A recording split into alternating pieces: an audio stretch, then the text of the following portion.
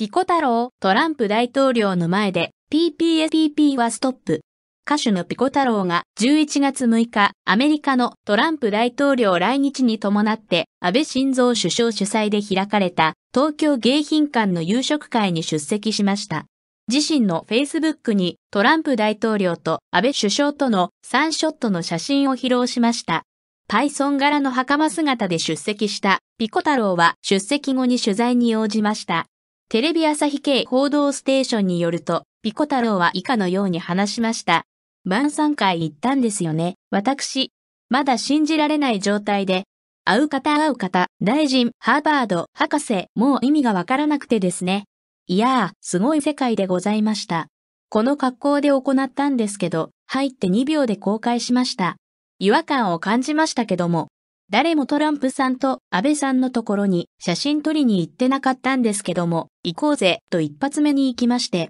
トランプさんがおお、歌わないのかと言われました。今日は歌えなかったんですね。生演奏しかなくて私の音源を流せなかったもので、ギャグで今から行きましょうかと小さい声でストップと日刊スポーツによると、ピコ太郎は今回のことにめぐずに、大統領はボケかツッコミかというと、ツッコミの方でしたと笑顔を見せました。